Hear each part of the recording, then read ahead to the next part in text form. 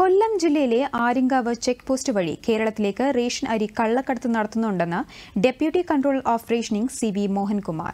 Special squad നടത്തിയ പരിശോധനയിൽ നൂറ്റി എഴുപത്തിനാല് ചാക്ക് അരി പിടിച്ചെടുത്തതായി അദ്ദേഹം വാർത്താക്കുറിപ്പിൽ അറിയിച്ചു.